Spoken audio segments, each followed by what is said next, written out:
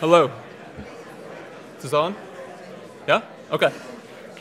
Okay, uh, welcome everyone. We're going to get started with the last uh, event of Punk Fest Cornell. Actually, there's a show tonight, which I hope you're all going to, Shonen Knife at the Haunt, um, with a great opening band as well, local, so, so please be there. Uh, before we do get started with this, I, I want to thank a few people. I want to thank Kevin for doing all the sound and audio, uh, visuals this week. Um, I want to thank, I don't see where she is right now, but I want to thank Catherine Reagan and Aisha from the library for making the exhibit happen as well. Um, and I also want to thank uh, Jordan and Carlos and Lee, who's gone somewhere, um, for all of this kind of backstage work that helped make uh, everything possible over the last several days. So please join me in thanking them. And, and then my, my co-organizer and co-curator of everything, Judith Peraino. So thank you so much, Judith.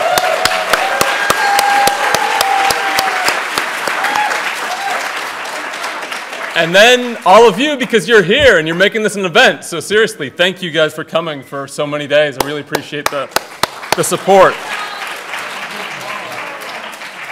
Okay, so um, uh, it's an incredible pleasure to, and, and really an honor to welcome uh, the guest today, Ian MacKaye. There's pretty much nothing that Ian uh, MacKaye hasn't done in, in punk rock or for punk rock, and I was asking him, you know, well, did you write a fanzine? And he said, yeah, well, even kind of that. I kind of did write a, a zine, so maybe un, under a, a, hidden name. So I, I can't find anything that he hasn't done. At 18 years old, he started Dischord Records in order to put out, he co-founded Dischord Records in Washington, D.C. in order to put out uh, the record from his first band, Teen Idles. Um, then when they broke up, he formed another band. He formed Minor Threat, uh, and their songs from Stand Up to Think Again, to their blistering cover of, uh, of the British band Wire's 12XU really transformed the sound of punk and a lot of the politics of punk, of punk as well. Minor Threat, despite their name, were, as all of you I'm sure know, massively in influential and encouraged uh, and really inspired, I think, thousands of other people to pick up guitars, drums, bass, and mics and start, start their own bands. Um, I'm even told, in terms of influence, that uh, a sheep in Ithaca is named after Ian MacKaye. Uh, maybe, maybe, because of his vegan politics, maybe because on the cover of Out of Step there's that amazing uh, black sheep running in the opposite direction.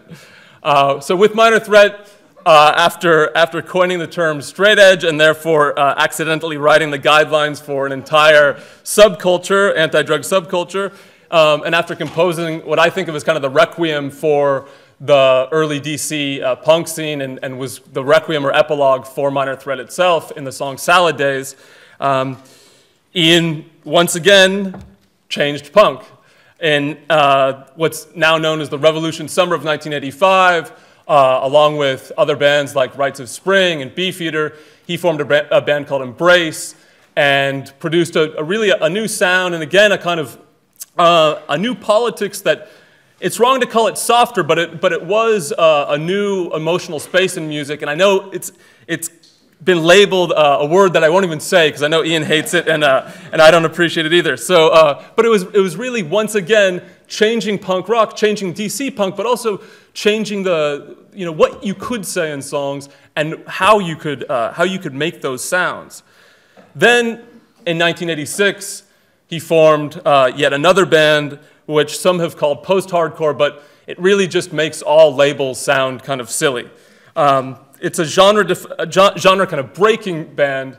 Fugazi, who, who drew on uh, everything from Jimi Hendrix to Washington, D.C.'s go-go music to reggae to what I think of as a, at least a little bit of James Brown, at least in the performance. Um, really, really, again, once, once again, made over, made over punk. And this is one of the amazing things that he's been able to do throughout his career is to um, keep punk going and, and help recreate it so it had new space, it had new territory to, to kind of find.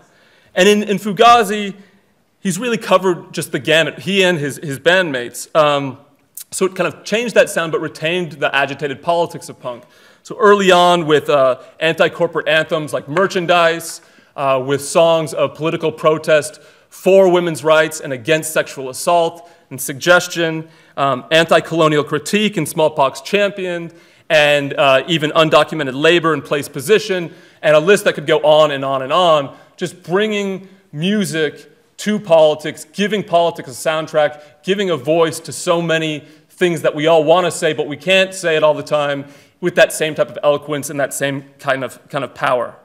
Um, along the way, in, in, addition to all of the, the bands that he's been in, he produced Bikini Kill's first EP, he produced a, a Rollins band record, he's produced many, many others. Um, and then probably what's, what's less known or something that I really didn't know until I, I had a chance to visit Dischord House this summer is that he's also an archivist. He has one of the most incredible punk archives uh, around, and uh, it's, it's by, you know, far and away the best archive of, of DC punk, and I think someone who can appreciate the importance of, uh, of punk rock and, and its history. And most recently, of course, he's been uh, playing in a, a, band called The Evens with his wife, Amy Farina, and I hear that there's, a, there's more music on the way in the future. Uh, he has a, a line from early on in Minor Threat that I think is especially important uh, in this context, a kind of slogan, flex your head. And I think that's something that Fugazi, that Minor Threat, that all of the things that he's been involved in um, have constantly asked us to do and, and helped make us do. So please join me in welcoming Ian MacKaye.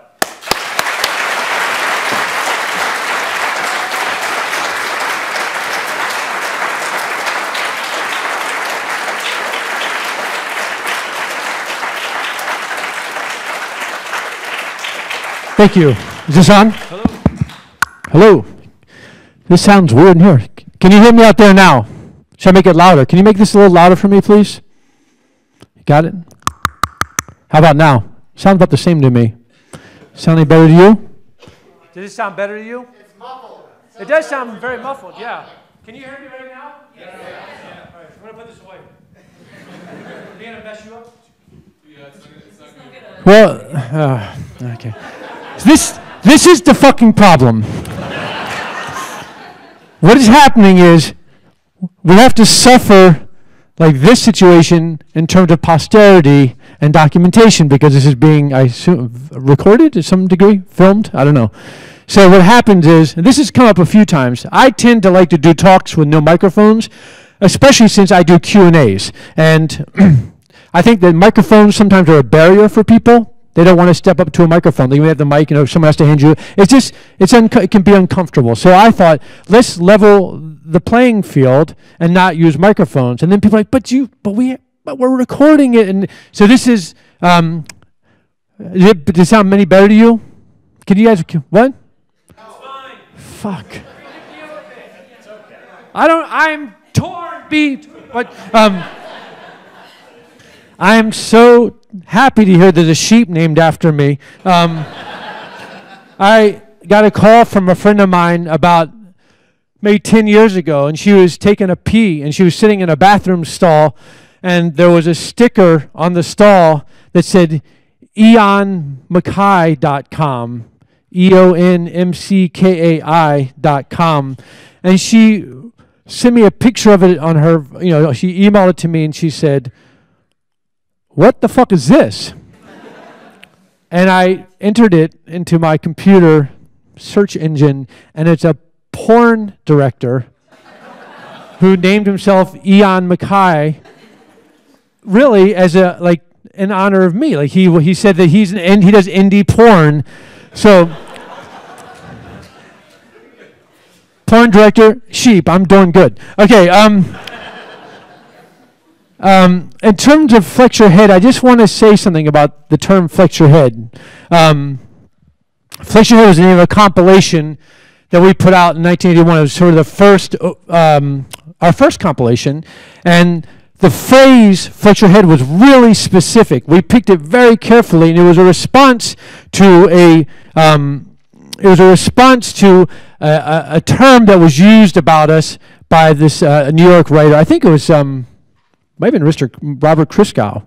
Um, I think it was him. But he, he wrote, he was mad at us, DC punks, for coming up to New York shows, and he referred to us as a bunch of fucking muscleheads. Um, and so we said, muscleheads, we will accept muscleheads. Um, and response we say flex your head and that's where the term came from like flex your head like if we're muscleheads, we'll flex our heads and to, to be thoughtful to, to, to approach things from a sort of thoughtful point of view regardless of whether Christgau thought we were smart or not um, i have done talking over the years i prefer just to do q and a's and the reason uh, for that is that if you're not interested then we don't need to fucking do this um, I've got nothing to. I have really nothing to sell at all. I'm not promoting anything. There's no book, no record, no nothing. I was invited by uh, Tom. Contacted me. He said we're doing this event surrounding this collection. Um, he's a nice guy. He came to my house. He saw. He came by Dischord house, um, and I thought that sounds interesting. I guess you know I'll come up there, but I'm just going to do a straight Q and A. So it is reliant upon you all to ask questions about anything you want to ask. I don't care. Um, or, as I've said often, we can just have like an impromptu um, Quaker meeting. So let's decide how you want to proceed. So, does anybody have any questions? Yes. Just ask it. Forget the. Yes, please just ask it. I'll I'll repeat the question. How about that? Alright, so I'm sort of a musician just starting out and I have to deal with a lot of anxiety. So I just sort of just ask you just to talk about just the process of just exposing yourself and putting yourself out there as a He-. Okay, so this the question is, it's about um, stage fright. You mean, or just anxiety? Uh, anxi- anxiety about exposing yourself. Right. Got it. Um, I think shame is the enemy of life, really, and um, and we all. I mean, of course, I have shame, but I, at some point in my life, I just realized this is ridiculous to be nervous about doing these sorts of things. If you're gonna do it, you just have to fucking do it. You just have to do it. I like. I am totally. I have not had stage fright pretty much since I was in I was high school, and I'll tell you when I lost my stage fright. I remember it very clearly. There was a play. I was in the um, a theater group at Wilson High School. It's a public school in Washington D.C. And um, we had a theater group. It was a community theater called the Wilson Players. And what I mean by community theater was actually, though we were housed in the school, was actually anybody could be. There's uh, people outside the school who are also part of it.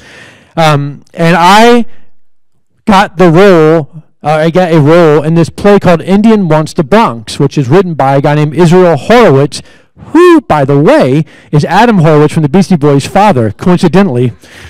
That was a fucking freak out when I realized that. Like, you're dead. Um, but um, it's a play. It's a three-person play. It's about two street gang members drunkenly stumbling around somewhere in New York and running into a man from India who's lost it like in the middle of the night, like two in the morning, and who doesn't really speak English. And then it's like he's just trying to find the Bronx. He's at a bus stop or something. And then so the two street gang members who are already insane and unhappy and having problems with each other end up like having to argue and fight and have soliloquies until they kill a guy. That's roughly the play. Um, so I got one of the roles, the street gang member, and um, I am. Uh, I just don't go. There's a thing being off book. If you've ever been done plays, that means you memorize your lines. I don't memorize lines. So I was completely fine with this idea that I was not going to memorize my lines because why? And um, and about so it was opening night, and it was like five minutes before we were supposed to go on. And I realized I don't actually know all the lines, and I was filled with like a terror because I realized what a made what this colossal mistake I might have just made in this. But then I thought, well, it's on now. Like I have jumped off the cliff. So it's too late. And at that moment I thought, well, there's no point in being nervous or scared. Just do it. And I went out there and I just like I just you know, I embodied the role. And maybe I didn't have all the lines right, but I knew it well enough. I think since that point I've never been nervous to go on the stage. I just don't have well, let me qualify that never nervous about shame or being anxious or was it going to like me? That i'm not worried about. Um, I have been nervous in situations where, for instance, in the early 90s, uh, when Fugazi was touring, late 80s, early 90s, the United States especially was um, the punk shows were just being really were inhabited by horrible skinhead guys, terrible, terrible violence, um, and it was a problem for us because we were essentially a populist band. We were always all ages.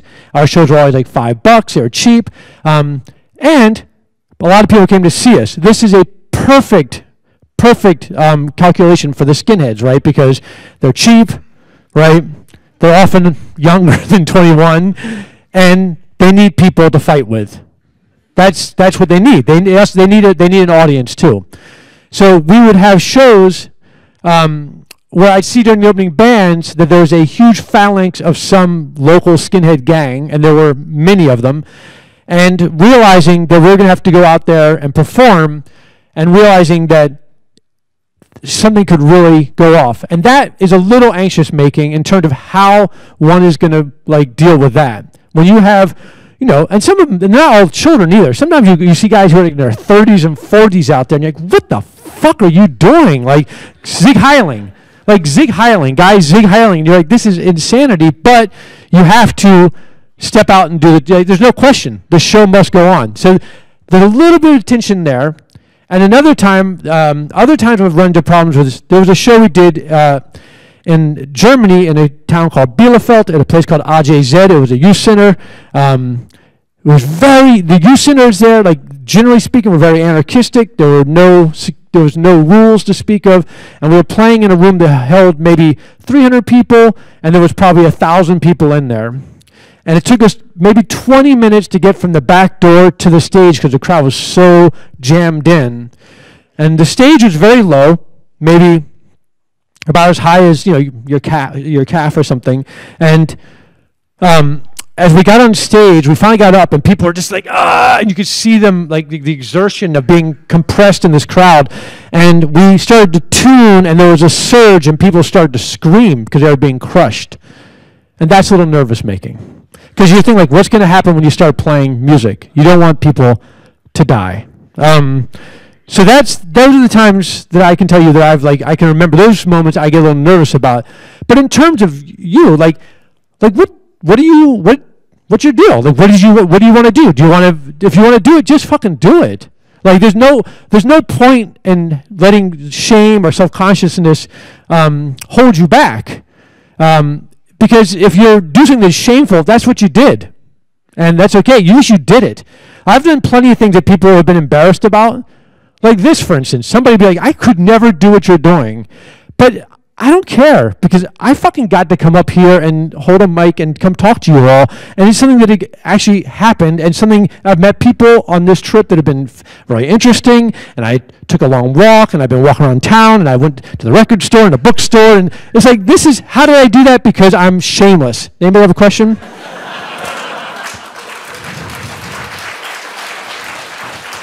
so yeah, just write a song.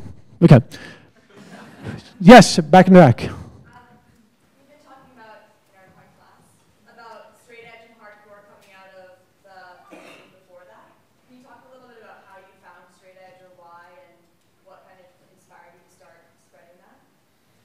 Sure.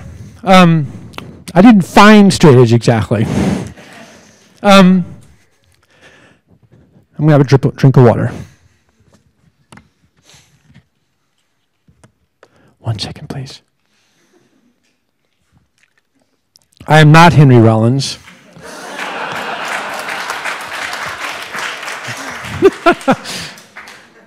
I love that about him. I've seen him, you know, I you know I grew up with Henry. I've known Henry since I was 11 years old. We're best friends.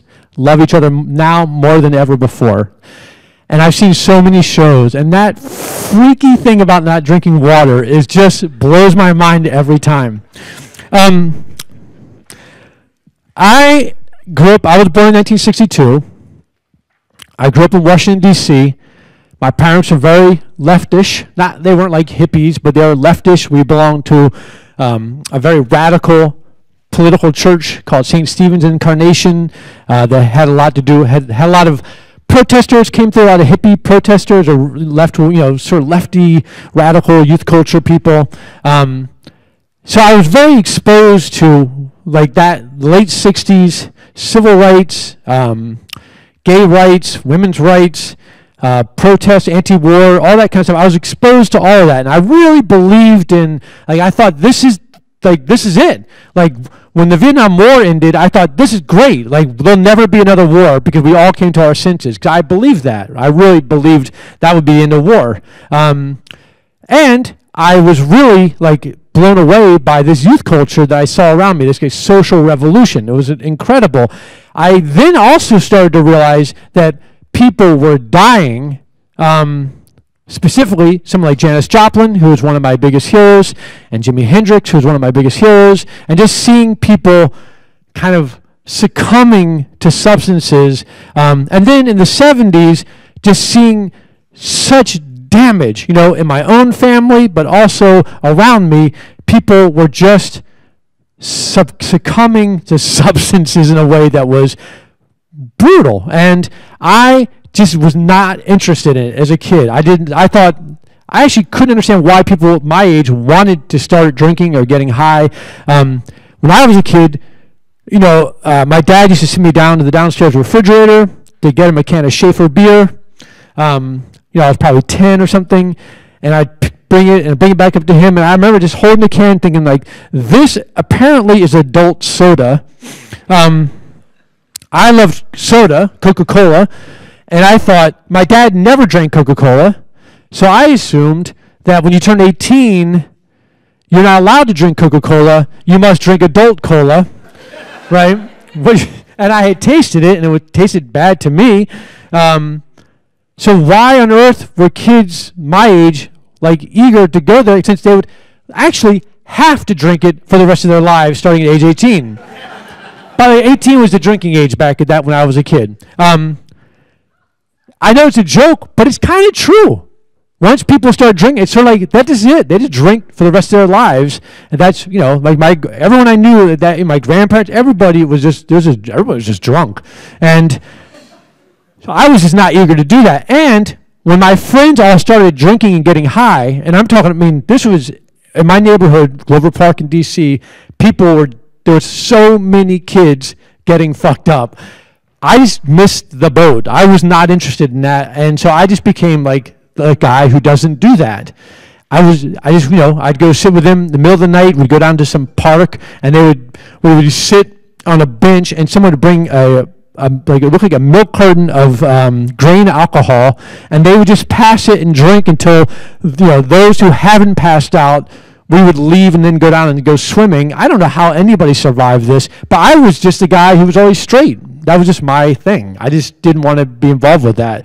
I never, I just never got high. I never smoked pot. I just didn't drink. I just didn't care about any of that. I just wanted to be with people and I wanted to do things. I was interested in like, let's make a fort. Let's make a skateboard ramp. Let's do, let's do something. Let's just make fucking things. Let's do something. Let's have a nice time while we're here. And um, then when I got to high school, I was really, um, you know, I was freaked out because I didn't know a lot of the kids. I went to a different school than the, the majority of the kids at Wilson. I was coming from a different neighborhood. And I got to know them, and everybody was partying. And I started to realize that in a, in a way, like they thought that of that as a form of rebellion, like to party as a kid. And I think of it as sort of state sponsored rebellion because the people who really would threaten the state um, the more they party as a form of rebellion, the more they actually neutralize themselves. They become less of a fucking threat because they are self-destructing. And if you look at some really great, great, great thinkers who just destroyed their brains, to me, I, you know, someone once said to me, like, "Yeah, but like Hendrix, he's a genius. I mean, sure, he got high, but look at the work he did." I said, "Yeah, but what would he have done? A, if he wasn't getting high, and that wasn't part of it, and B, if he wasn't dead, he might be doing something even better, right?" So, so I feel like that that from my point of view, like I thought that's just state-sponsored rebellion. Like yes, you can, you kids can do that. It also has to do with this concept that um, kids are stupid. Like the kids are not important. And then you probably all heard the term when someone says like, "What are you gonna do when you get real?" or about when are you gonna get real? Or, and or you know, at some point you're gonna have to accept like, "What are you gonna do in five years?" and that kind of stuff. And I, I think that kind of recitation, that repeated um, kind of notion that kids are not real, I think that that's why kids self destruct. Because why not? Because they're going to get real later on, theoretically, right? So why not? Why not just fuck up now? Because you get a you know you get a free pass later on. I actually think that kids are real. I think everybody is real. I think a seven year old is real. I think an eight year old is real. They're not fake people. So I feel like that the thing is that the I, I, feel like that especially teenagers, they are real and their ideas are real and the things they're doing are real and people should respect them. So the fact that parents, especially parents, treat kids like as if they're unreal is just psychotic to me. Um, Meanwhile, kids I know are just saying like, "Oh, it doesn't really matter. I'm like, I'm just partying, whatever." I didn't do it. Then in high school, they called me the group conscience, right? that was my nickname in high school. And with the group conscience, this was an interesting role to have because I would like go to a party and be like, "Oh, here he comes," you know. but here's the deal: I didn't fucking give them a hard time. That wasn't me. That they were giving themselves a hard time you know, they might give me some shit, and I might, I might make, my, you know, you're a high school kid, I might get back in their face about it because I'm funny, you know. So if they say some shit to me, I'll say some shit right back to them. But I wasn't like, I didn't go in there and like, you know, with a fucking staff and knock people around or something. You know, it wasn't. Like I mostly I'd go to parties and then it'd be like a kegger, which would be setting off, and I'd be like, just get my skateboard and go because skateboarding was just that's just a safe place for me. I could just go out with my friends and just skate all skateboard all night, just find something to do other than just standing around and going through that particular ritual, which is I would say is still such a destructive ritual. It just blows my mind when I think I read about all these sexual assault cases that are going on. It's like it's alcohol, always alcohol, always, always, always involved. Not the cause, always involved. Um, so I was a group conscience. Then, when I finally came to punk in my life, like I loved music. I was obsessed, as I said, with Jimi Hendrix and Janis Joplin, and I wanted to be in bands. And you know, Woodstock was so huge for me as a kid, which is funny. I was listening to, uh, I was reading that thing about uh, William Gibson. When I was reading this little zine that was being passed around where William Gibson's talking about like how horrible Woodstock was, and I thought it's so great because for me it was like I saw it as like this like perfect like event because I I was a kid when it happened. I just you know saw the movie and was like, oh my god, this is so great. And I used to drive around and look out the windows trying to like as I get I was maybe 11 and I would my parents on a family trip. I'm in the back seat with like a notebook looking scouting possible location for my festival, and um. and always making a list of bands. Yeah, Mountain is definitely going to play. And um, but then um, I thought, I'm going to be in a band. I want to be in a band. And I'm answering your question very slowly. Um,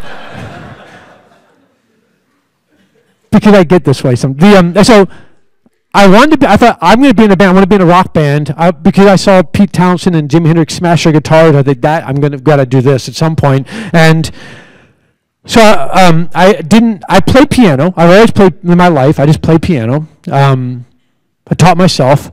Lessons almost destroyed me, so I quit them, forgot what they taught me, and went back to playing just to myself.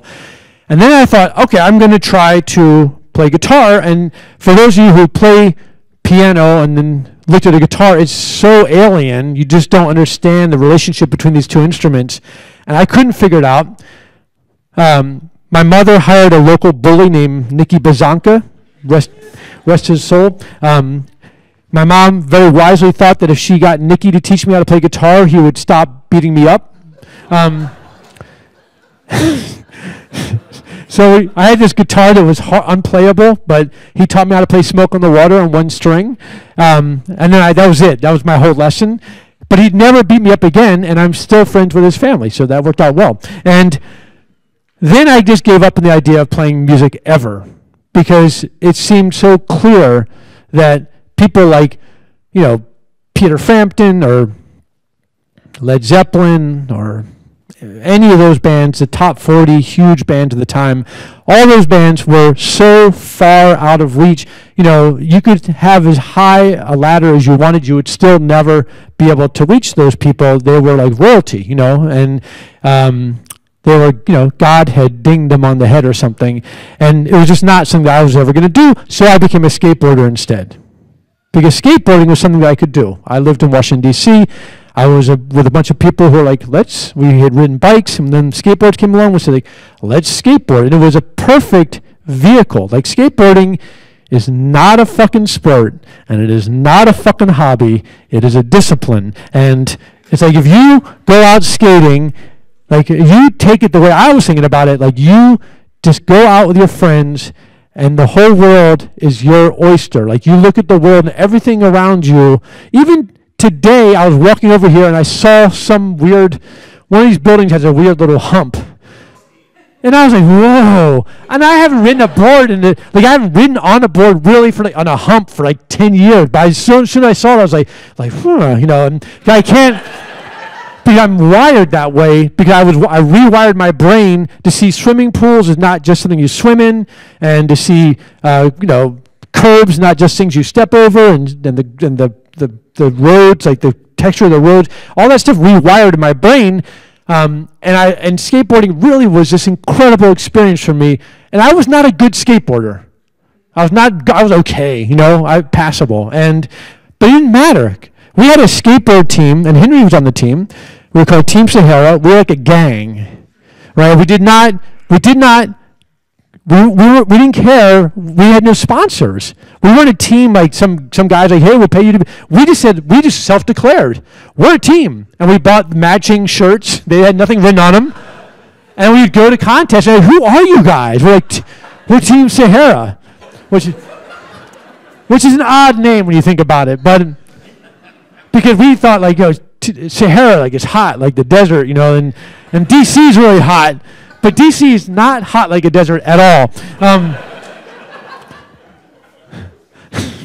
I'm not going to go too far to the skateboarding thing, but the point was that I did. I think we really created our own world in skateboarding. When I was in high school, that was the world that helped me that to navigate like the madness of like high school. Um, which I, I loved high school, to be clear.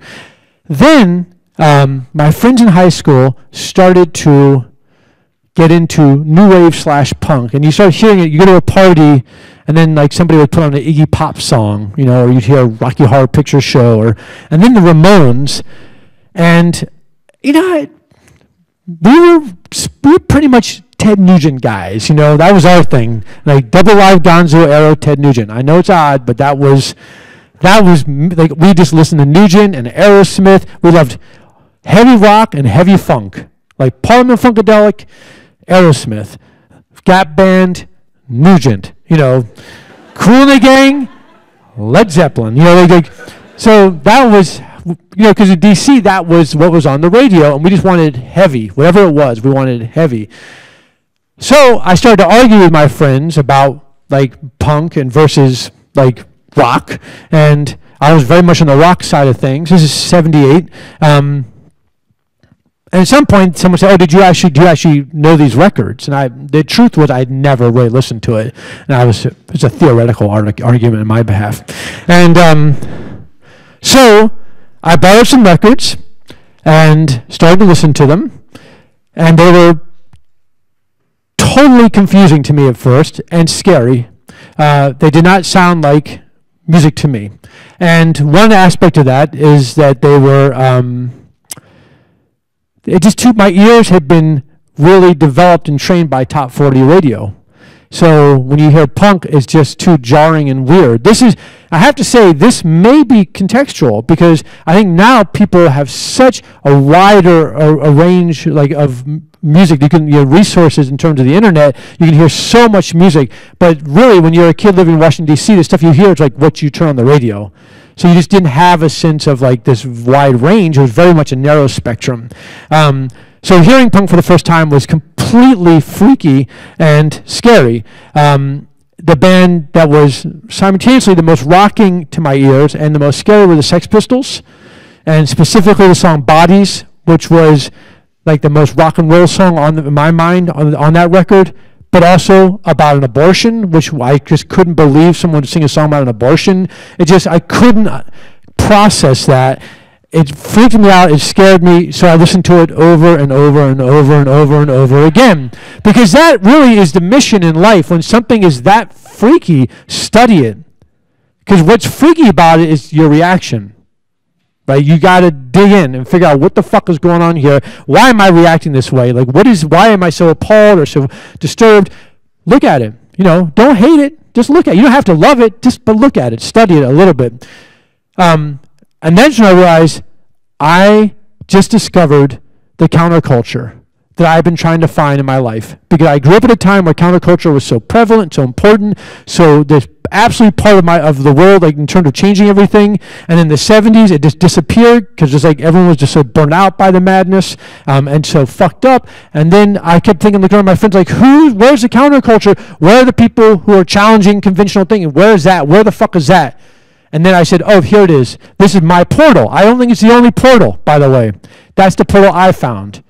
So I started listening to punk, and then in uh, February uh, February third, nineteen seventy nine, um, I went down to see sh- my first punk show. It was the Cramps, um, who I think were the you know for me one of the greatest bands of all time, like unimpeachably so, and the, what they brought to music, the kind of incredible um, like vocabulary of music they were coming from, and like their how totally weird they were and how real they were, even though they were dressed like like monsters and stuff.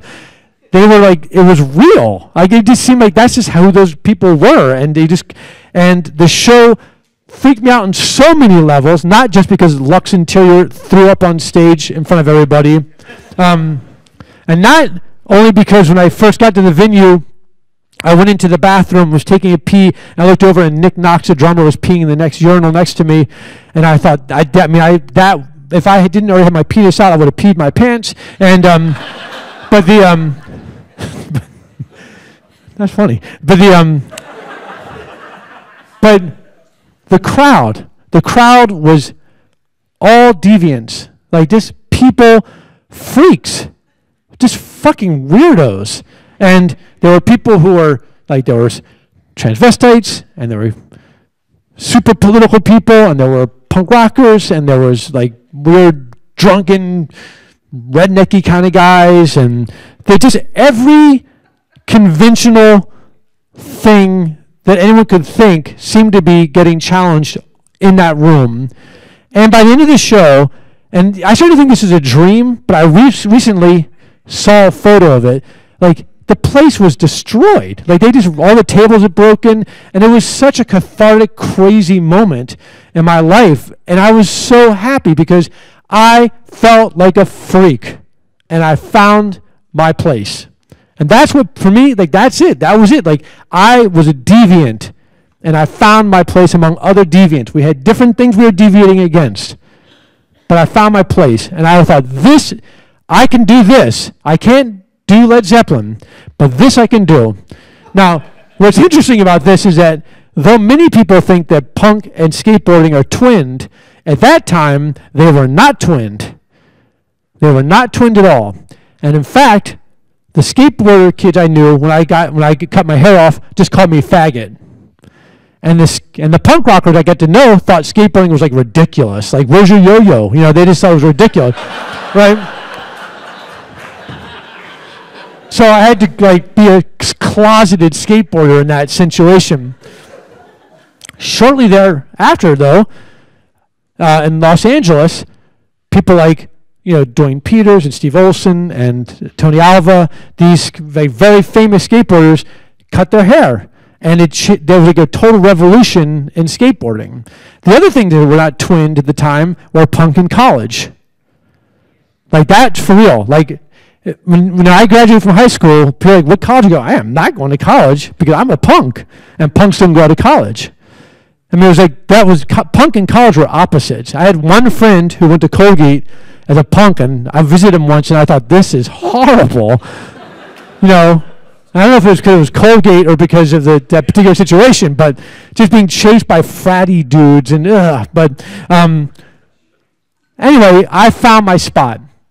And I was a deviant, and one of the things that I felt like I was a rebel about was that I didn't party. Everybody else in this place, not everybody, most other people in this place were just plowed and fucked up. You know, Lux had thrown up because he had drinking, uh, supposedly, a six pack of Heineken Dark and eaten a whole pizza right before he went on stage. And then, like, so I can't swear to this. This is what I was told. And but here's the best thing about it. He throws up on the stage. It's just a huge fountain of vomit. and they leave the stage, and then some fucking guy comes out and sweeps up the vomit, right? and like wipes it up with towels. And then they come back out and play more. and I remember I was on, uh, we were, you know, and ironically, this show, it was my first show. Was also Guy Picciotto, the other member, the singer, uh, guitar player in Fugazi, it was his first show too. We didn't know each other at the time, but it was our first show. This is a very important show in DC history. And when we were doing an interview with Terry Gross of Fresh Air, um, we were telling about the broken tables and the vomit and the broken glass, and she says, "Why is that good?" Um,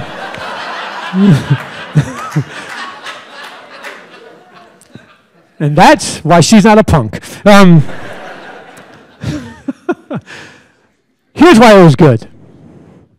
It was good because it was real. Shit was just going. It was like not contained. It was just things were happening, and people were dealing with circumstances as they occurred. Like I'm not a vandal. I don't believe in that shit. Like I don't understand for a second why bathrooms always get destroyed. When you tour, like I toured so many times where you you go to some venue and some kids break the, the toilet, especially in Europe. They just smash the toilets. I'm like, the toilet is our friend. right? The toilet accepts and removes that which we eliminate. It's our friend. Don't break it up. You know, don't smash a toilet. Admire the toilet. so, anyway, I was a freak. I didn't get high. I, I thought this is where I'm at. Punk rock. I love this. And I thought they will celebrate punks, even if they get high or don't. They'll celebrate this. And what I found out was that they was they ridiculed us. They were like, "Oh, you guys are funny. Like you're cute," and that you know, of course, got our dander up, and um, we started to sort of push back. Now, keep in mind, in the beginning of of my punk experience, I was going to Wilson High School. I was a senior at Wilson. I started to play bass the Teen Idles, I D L E S Idles, and the reason that I played bass. Um, one of the reasons is because I could play Smoke on the Water on one string, so uh, that I could handle. And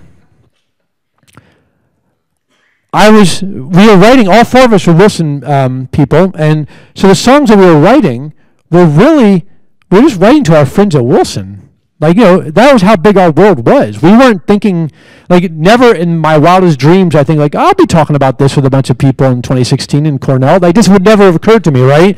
I'm just writing, I'm writing songs to my friends. So if you look at the song I was writing, like, a song called Sneakers, where it's just basically saying, like, you know, come on, you know, don't, don't put on makeup, just be a kid, you know, they, you know just they're just friends, you know. Trans Am is about like you know the guys with the fast cars, you know, who you feel mad at because the, you know the girls like those boys, and then and then you're mad at them, and that you know. So you write these songs, but it's really specific about that environment. That was the context in which we were in. So I wrote this song called um, "I Drink Milk." Which was a song kind of making fun of the beer drinkers because they were like, "You're stupid because you don't drink beer." So I wrote like we wrote this song called "I Drink Milk," um, and it's very simple lyric. Um, uh, I drink milk. Uh, I drink milk. I drink milk. Um, I drink milk for the vitamin A. Is there vitamin A in milk? I don't think there is. Um, I drink milk every day. I drink milk for the vitamin A, but it rhymed. And I drink Coke. I drink Coke. I drink Coke. I drink Coke. I, uh, I drink Coke every day. I drink Coke for the tooth decay. So, but it's a funny song, right? And we just love singing it and kind of singing the, you know, and, you know, the guys in the back like, oh, you punks. And, but, but I realized it started this weird conversation when we got into the punk thing, when we, got into the local punk scene, that we were being really given a hard time about being straight.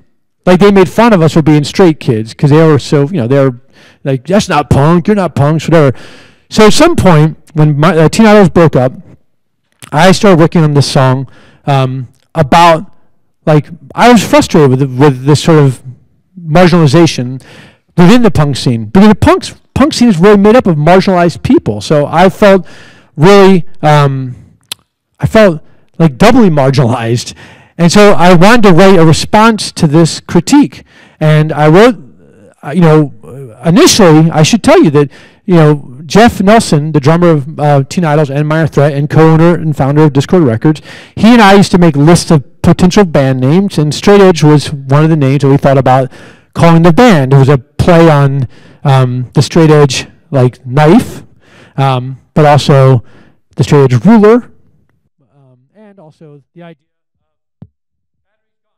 Um, this is dead. Um, Okay. So, um, if you get a battery, we'll fix it. So, I, um,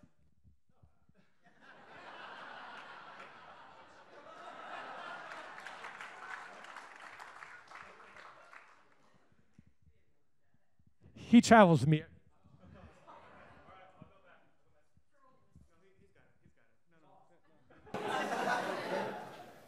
Okay. Okay.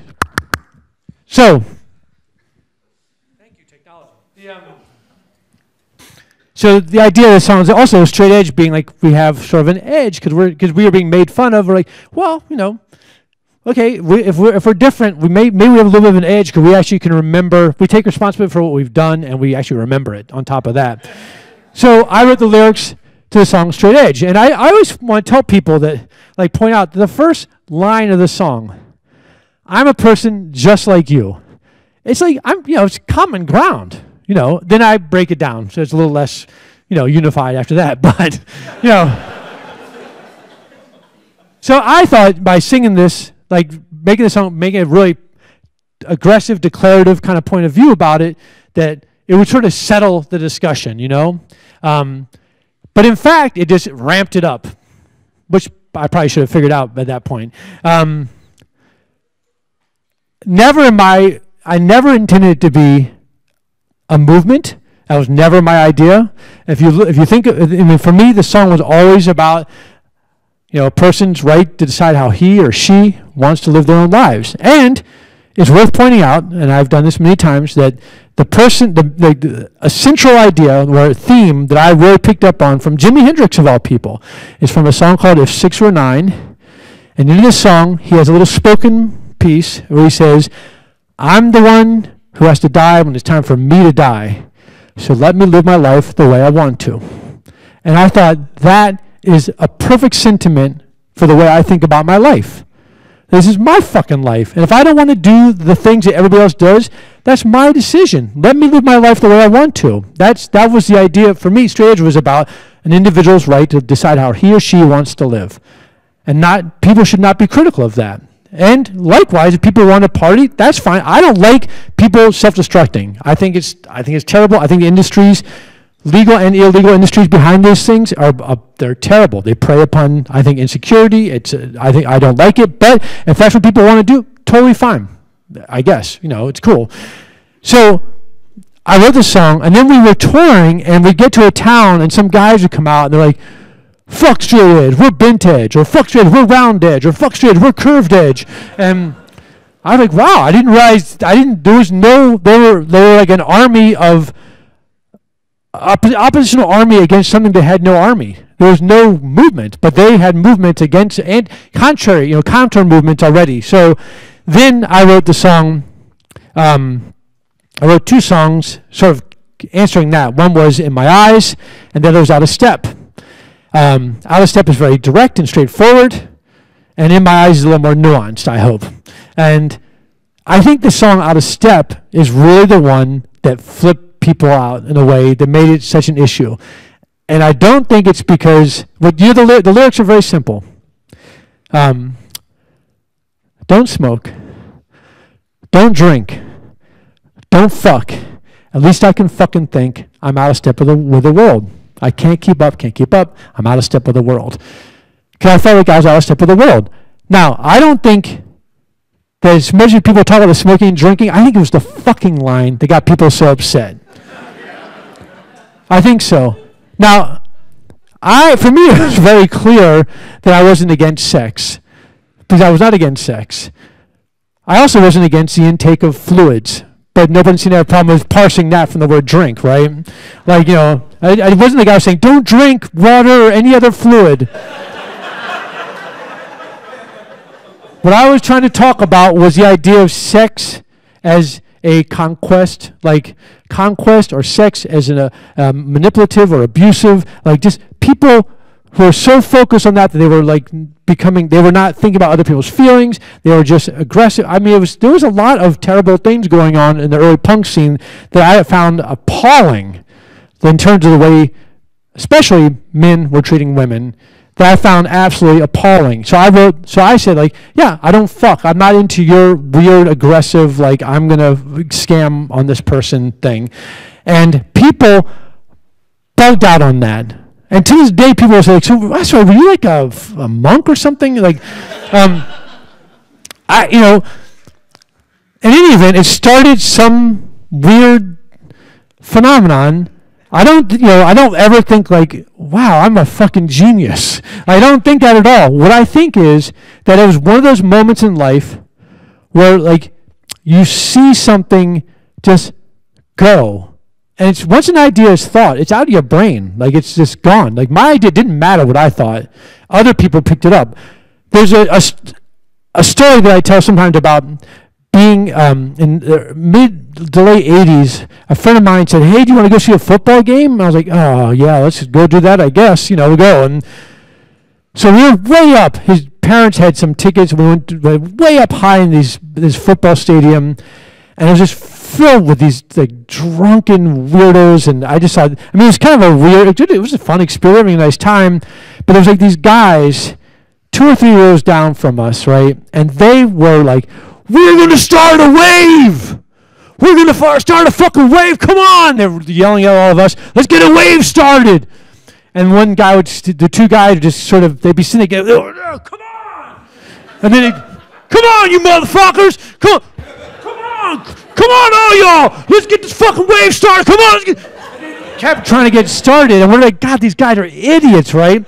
But they kept doing it. And then, like, couple, the people down the road getting like, all right, all right, we give up. We'll, f- we'll, yeah, okay. So they they go like once, you know, and then twice, you get a few more people down, and then it kind of caught, and it went a little bit along the top. We're on the third tier, and it, it started to go around, and it started to widen, you know, because people could see it coming.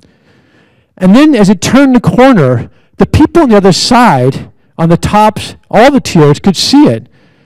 So it just spread and it got wider and wider. And then it just came cruising back around towards us. And you could see it coming. Like you could see the entire stadium was now doing the wave. And I had just seen these two fucking drunks started. and as they came whipping around the corner, I was like! Um, And that's a little bit like it's a little bit like seeing like something like you have an idea and then suddenly it just takes off. And then it's weird because then you have like, you know, you have like, you know, I coined a phrase it's in a dictionary. That's just that's strange. That's that's strange. You know, you see a movie like, no, you're not straight edge, are you? I'm like, wow, that's weird, you know? Or you get porno directors named after you. Um, did I answer your question at all? Did I? All right. Um, all right. I, I do want to say, I do want to say, I want to say just one more thing about that.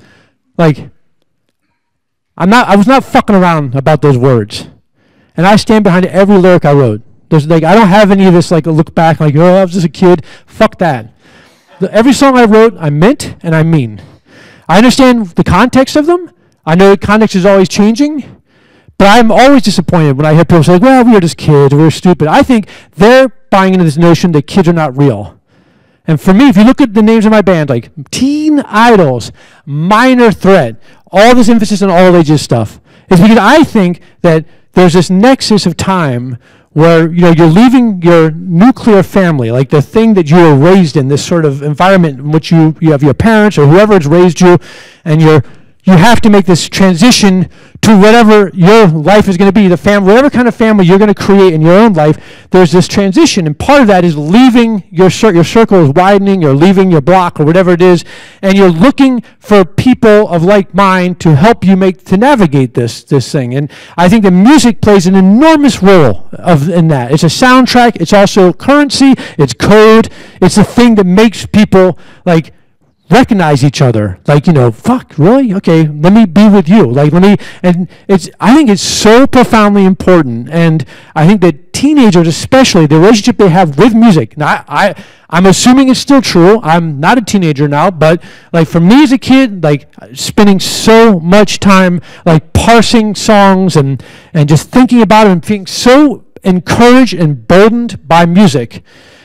You know, and then like when I got into punk, that really was like this is this is it.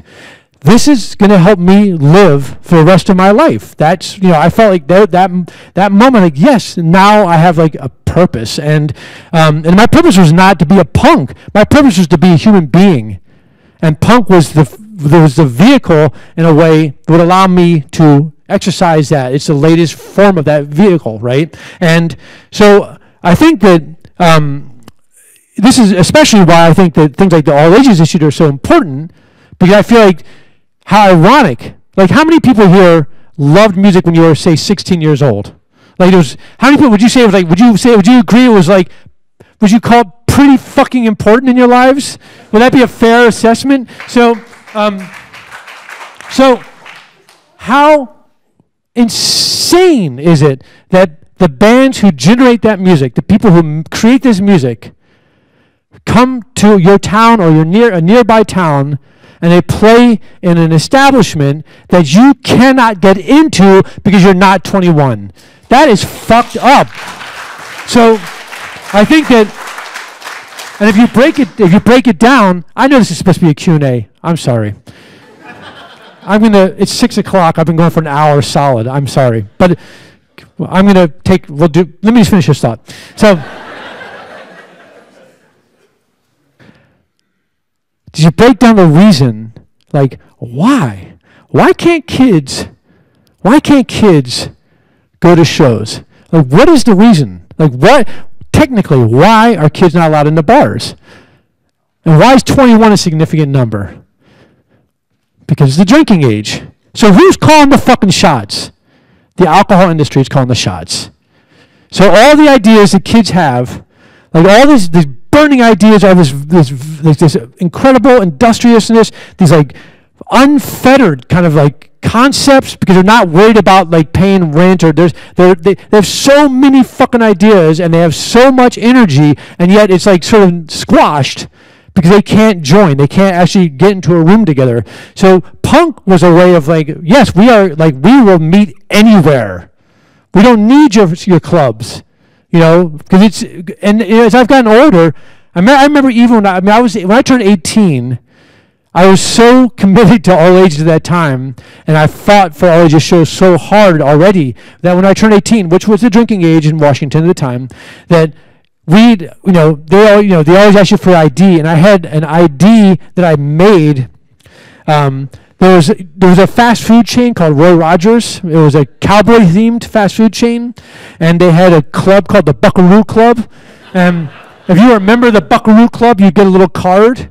So I had a Buckaroo card, and I wrote on there in crayon, "My name Ian, I 18," and um, and they asked for my ID. I just I said, "Here's my ID."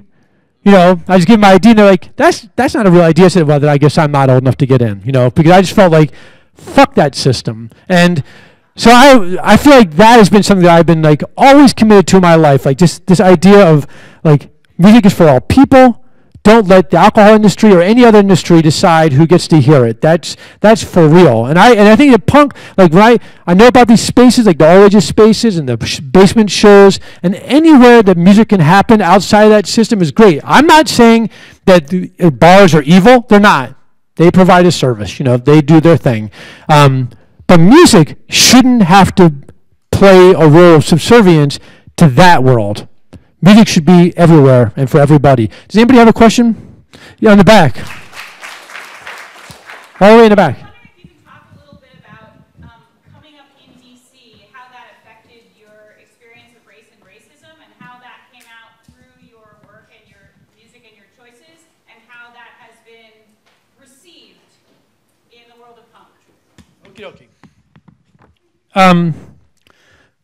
she's a Washingtonian. We were talking earlier. So, um, I am a fifth generation Washingtonian. My mom was born there. My grandfather was born there. My great grandparents were born there. Um, I have like very serious roots in Washington. I don't have, my parents were both only children, so I had no cousins or aunts or uncles. I just had Washington. That was just my whole world. And, um, and I think, you know, when I was in high school, like I knew I was never going to go to college. I just thought I can't go into debt. I decided, like when I was like in 11th grade, I thought, I'm, I never want to owe money in my life. I don't want to be ever be in that position where I have to pay somebody anything. So we had no money for college, so my dad said, school loan. I said, "Hmm, just not going to go. Um, but also, I didn't want to leave Washington. I just really wanted to be there, especially when I got involved with the music. Now, Washington, D.C. in the 60s and 70s was a black majority town, 70% black. Um, uh, you know, obviously there was incredibly like there was a polarity in the town. There was a lot of you know there was primarily black neighborhoods with pockets of white um, neighborhoods in mostly in the west, you know, west what's called west of the park. There's a park called Rock Creek Park that goes up the middle of the city, um, and west of the park was where most white people live. That's where I grew up.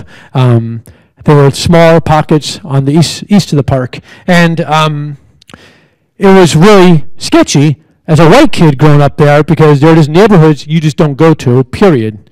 Um, and you know, this is this is this is really was hammered home. Like I can remember, like Rollins and I, you know, his father lived on 16th Street, um, and we at one point had to go to. He didn't live with his dad, but at some point we had to go there. He had to go feed the dogs or something, and Henry lived in my neighborhood, so we would have to take two buses um, to get up to his dad's house. So it would be one bus to DuPont Circle, and then we had to walk like three blocks over to get to 16th Street, get the 16th Street bus up.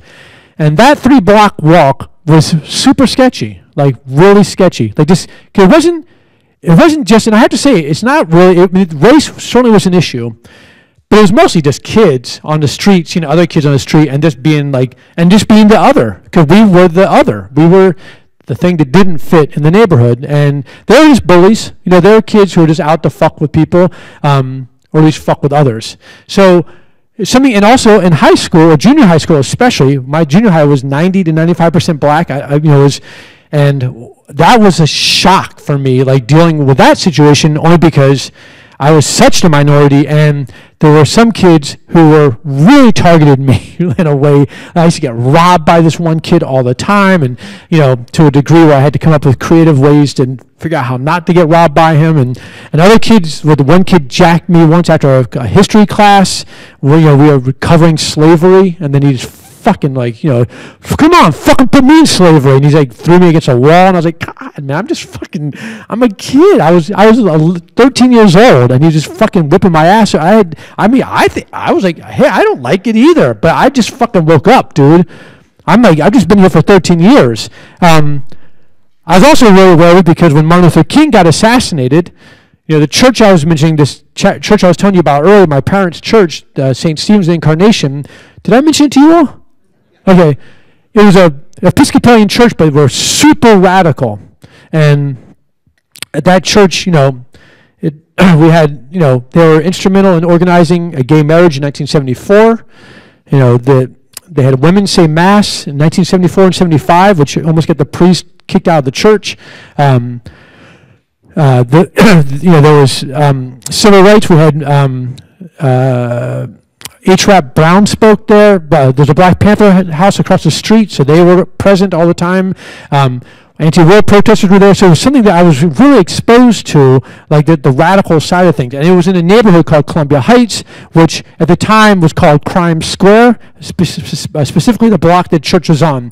And the church had gone through this crazy schism in the 50s where it was an all-white church and what had become an all-black neighborhood uh, as a result of uh, what is called blockbusting or white flight.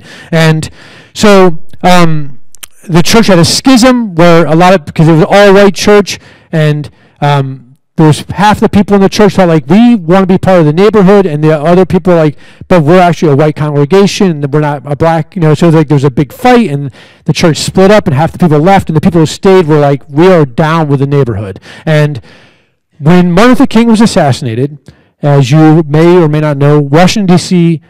burst into flames.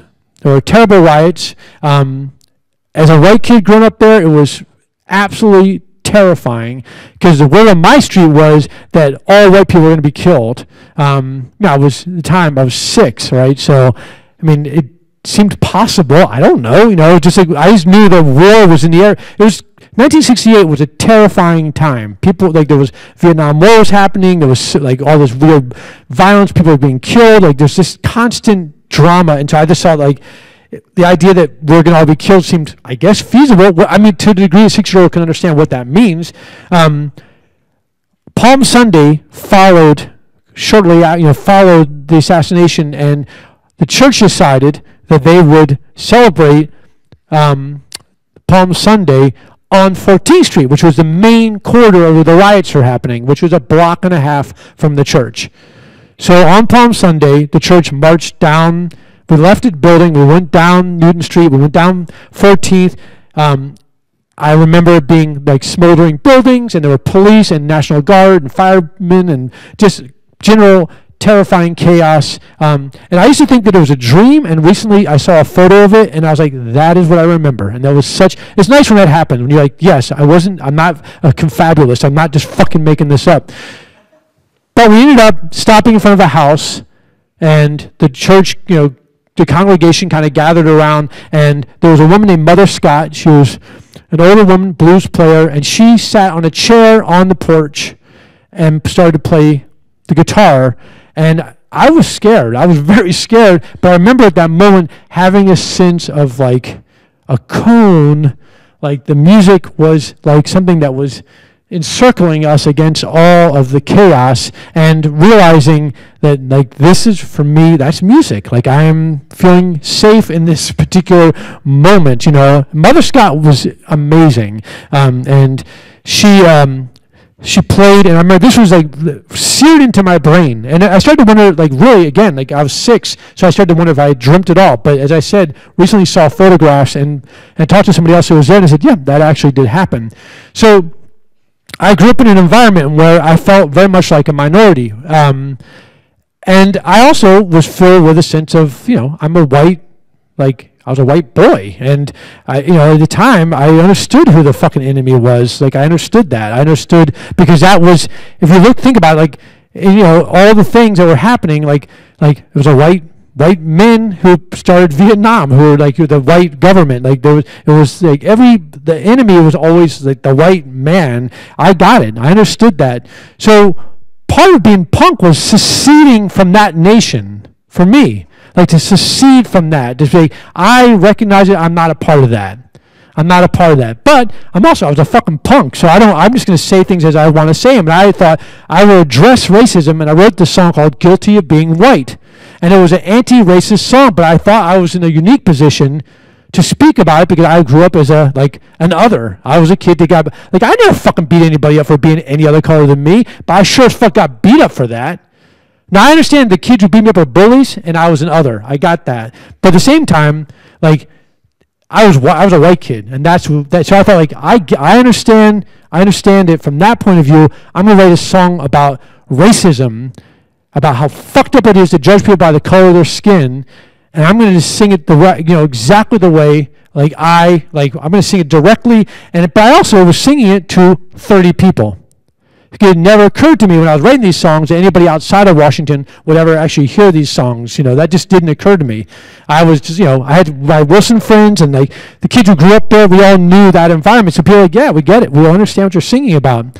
So you can imagine how weird it was for me when I started when the music, like years later, and I was telling her earlier, when Fugazi was on tour, we were in Poland, and this like right wing Nazi skinhead guy came up to me and he said, "Thank you for singing on for White Man," and I was like, "Fuck, that was not what I had intended." And um, and you know, people, and I, I remember actually my I went my sister Amanda, she had a she was at Wilson after me, and I had gone, she was involved with the Wilson players, and I had gone to see a play after I graduated, and Mr. Jones, the uh, vice principal, um, he saw me and he said, "Oh, I saw I saw the article in the paper." And then this interview, we did, I discussed a song, and he says, "You're gonna have some problems with that song, young man." And I was like, "Really? I didn't I, I didn't know. I just didn't occur to me that it would be such a a, a confrontational song."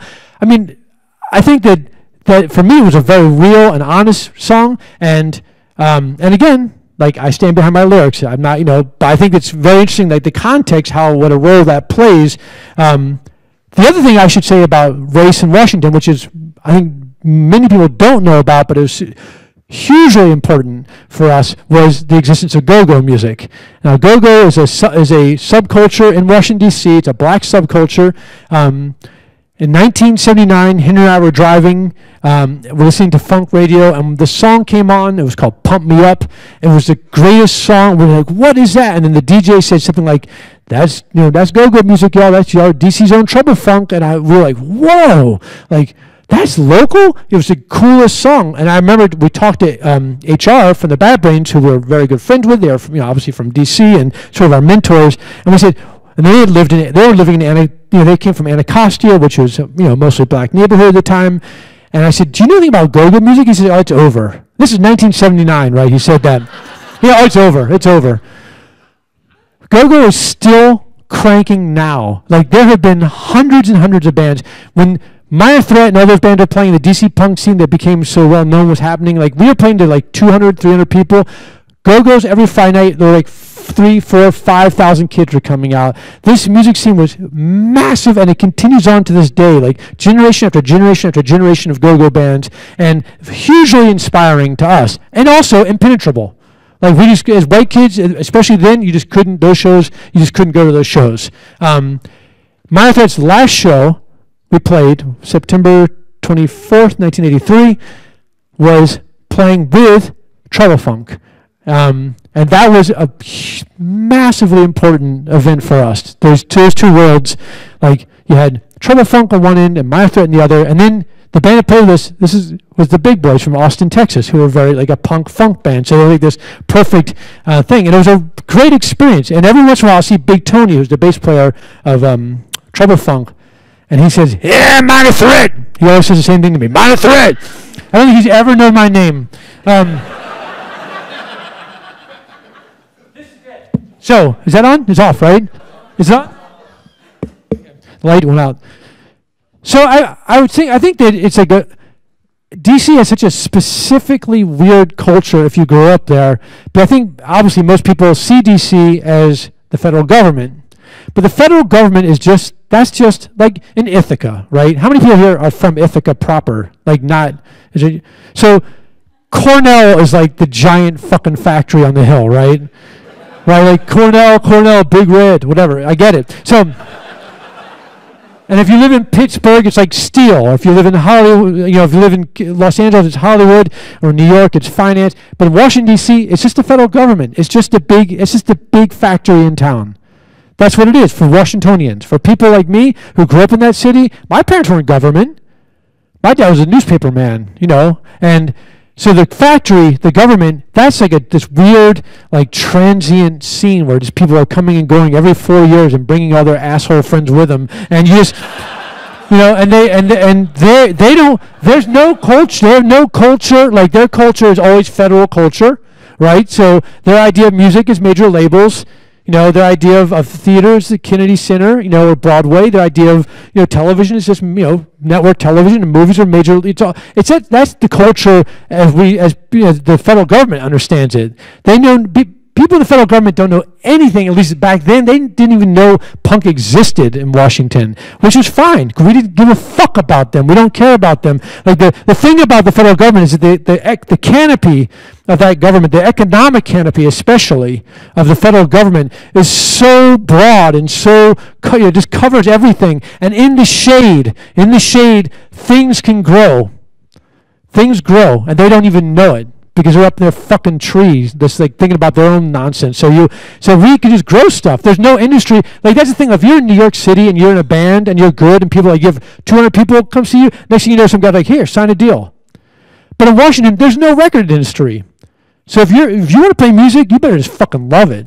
You just keep on playing it, just keep making it. And if you're, you're a theater, you just do theater. There's no, you're not going to make a living from it. You just do the work. And out of that comes these movements. Like my dad once told me that Washington D.C. specifically because of the weirdness of that of the culture there, because the federal government has allowed for these very specific cultures to grow. Go-go music, the punk scene, the Washington color uh, art scene. Um, there's theater scenes, like there's like the bluegrass in the '60s. These things really developed in Washington under the cover of this weird factory, the the federal government. So if you live there, and then you, it's like a whole other world. Like you just don't know. No one knows about it. It's also super cellular. So like you're like in one cell of people, and you're so tight, and then there's another cell, and you never cross paths. Um, it's just that's just a weird town. Uh, I don't know. Did that answer your question? Sure. Okay. Um, yes, sir. Can you tell the story of naming Fugazi? Of what? Naming Fugazi. Sure. Um, uh, Fugazi, I started playing with Joe Lally, the bass player, in 1986. We started to play together. Um, and I kept saying to him, not, not a band, we're just playing music. I didn't want to be in a band. I just wanted to play music. I wanted to play, we just wanted to grow, grow, grow, and just take our time. Uh, at some point in 1987, it became clear that we were going to we wanted to do a show, and we had to come up with a name quick, because otherwise the band would be called Ian's New Band, right? So we had to think of a name quick, and I was really had been thinking a lot about like the way bands are named. This typical. I mean, I'm always this kind of shit I always think about, but I was thinking like, if you call yourself, for instance, like you know, Ch- Hammer Axe, or you know, or Bloody Slaughter, you know, or or if you call yourself, you know, Dewdrop, or um, it's all very biased. Everything's like you know, like you know, lily fingered, or you know, whatever. All these different the words. The kind of I really wanted to come up with a name that would be um, would require the band to to um, I wanted the band to like inv- inhabit the name. I didn't want the name to to change the way people thought about the band. I wanted to be the other way around. And I was reading a book called Nam by an author named Mark Baker. It's a collection of an oral history of people involved with the Vietnam War. Um, and it's filled with uh, slang from that era. And in the back, there's a glossary. And I came across this word, Fugazi. And I was like, well, I don't know that word. And I looked in the back, and it just said, fucked up situation. And I said, that sounds good to me, you know. And so we, I, said, yeah, I pitched it, and they were like, "Yeah, that's great. That's good. That's a good, a totally mysterious name." And when uh, we first toured, like one thing about Fugazi is that we toured for a year, a year around the U.S. and the world with no record. We just went out and played little weird venues and just play, play, play, play. And the reason again was because we knew that everyone was like, "Oh, it's the guy from the guy from Minor Threat," you know, like that we were gonna get that shit no matter what. But if we had the four of us just went out and did that work, that we we don't care what other people thought. We know we're a band. Like we just do the work now, by the time we actually get later on when people start saying, "Oh, it's that dude from Minor Threat," it's a, we don't we don't hear it anymore because we know what we are. So we would go play, and people would say things like, you know, Fugazi, what's that? You know, what is that? Is it you know is that an Italian motorcycle or is it Japanese? I mean, Japanese dessert? Like you know what you know like. And I, we loved it. And then one guy, I remember people would come up. One guy came to me. I think we were in maybe like, I feel like we were in New Mexico or something. This kind of hippie guy come to me and he's like, you know, man, Fugazi, man, it means it means loving waterfall, and then like the Navajo language. And I was like, all right. Um, and so I, I always assumed it must be an acronym. I mean, you must have heard SNAFU, situation normal, all fucked up or FUBAR, fucked up beyond all recognition. I assumed Fugazi must be an acronym, but I never found any evidence of that. In 1996, we were playing a show in Singapore. After the show, this kid comes up with his older sister. Um, I remember her name was Vanita Romani. and uh, he comes up and he's like, "So what's Fugazi mean?" And then she just says, "Come on, fucked up, got ambushed, zipped in." That's the first I'd ever known it. I was like.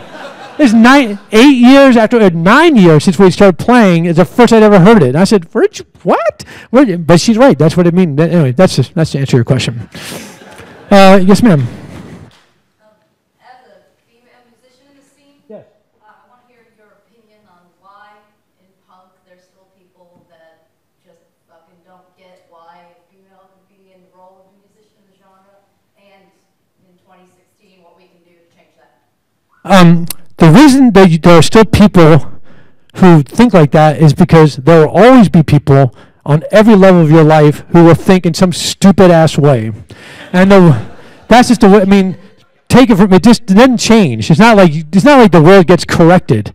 Like assholes are a virus, and they just bounce around. They just, you know, like they. I remember when the skinhead thing was happening, and people were like, "We gotta fight them. We gotta neutralize them." And I thought, don't. There's no point. They're gonna neutralize themselves. I mean, Biafra. I remember he said to me, "We think we we want to beat the skinheads out of San Francisco," and I said, like, don't do that. Just try to imagine them naked and learn their first names. You know, that's that, that, that was my thing. I was like, I'm just going to try to know these people because I realized that even if you killed every skinhead or asshole like that you could find, there's just going to be more. So it's more of a question of navigation. How do you want to? How do you want to? How do you want to deal with this thing? It's not. It's not surrender, by the way. It's not a surrender. It's just saying I'm not going to expend my energy fighting with somebody who's only there to just try to make me try to stop me. So how do you respond to that? Play music. If they say to you, you know, women don't don't play music, then clearly someone's mistaken because you're right because you're playing music, right? So that so I feel like like, and I can tell you like. I can remember clearly, like in the beginning of punk, that there was like you say like, oh man, there's this band they're playing, and there's like this a woman on bass or there's a girl bass player or whatever, and it was like always notable. Like it was notable, like, be like oh, there's a chick playing drums or you know that kind of thing. And you just hear that as part of the description. I never hear that anymore. I see that as a serious sign of progress. Now I don't know what town you live in where people say that kind of shit to you, you know, but you know you just gotta you, you educate them through practice. Like people told me over and over, like you can't do it that way, and I'm like, oh, well now I'm gonna fucking do it that way, right? You know, that's the thing. Like when, when Dischord started, like Dischord Records will be 36 years old in December. 36 years old, right? So, in the beginning, hold on. Can I go over? Can we go a little longer? Okay. I see 625 up there. So, Dischord Records, 36 years, right? In the beginning of the label, I was told like, you're too idealistic. This is not going to work. Like, because our thing was like, we're going to sell the records cheap. We're going to put out just our friend, like the records from our local scene. Um, and we never use a con- no contract. And they're like, you're crazy. You have to have a contract. So you have, you know, we've never used a single contract ever. I don't have a fucking lawyer. I have no lawyer. Like, so people told me it's impossible. You can't do it. So I fucking did it. So fuck them, right? So, so I feel like. I feel like in this situation, when people are putting that kind of resistance, then you just walk through them because they're ghosts. They are. They haven't. They may not. They may not be gone yet, but they're penetrable. If they put your hand up, they're on their way out. Just fucking walk through them. Anybody have a question? Yes, sir. wondering if um, you could speak a little bit to like the digi- uh, digitizing of the music industry and in light of how Dischord did everything on Bandcamp recently. Um, and just like, you know, kind of what you think about the recent changes in the music industry with vinyl and, you know, uh, iTunes and everything and like how the punk and the underground scene can kind of find its place there um, and how small labels can get established and all that. Okie dokie. Um, every song I've ever written, I wrote to be heard. I don't care how people hear it. Doesn't matter. Like, I want people to hear the songs. That's why I wrote them. Now, for years and years, for a hundred years, the record industry has had a monopoly on that vehicle to some degree the record industry, which started, as I'm told, as a really a furniture concern. You know, the first turntable, like the, the, the, the original turntables were basically these very fine furniture. And this company was making the fine furniture, they put a turntable in there and they started making, making records to help sell their cabinets because that's where the money was. You know, so once again, music is being used to sell something else. And for those of you who've never heard me give this rap, let me just ask you, everybody else, like, just tell me What is it that record labels are selling? Any guesses? Who? Product. Okay. What else? Other people's work. What else? What What do record tables? What do record labels sell? Plastic and paper. That's exactly right. That's all they've ever fucking sold. I have one. I'm telling you, sell plastic and paper. Here's the deal: record labels license or steal other people's work to imprint into their plastic to make it more desirable to some people than somebody else's plastic. Like if you go to the Cornell gift shop, there's some Go Red fucking mug up there, right?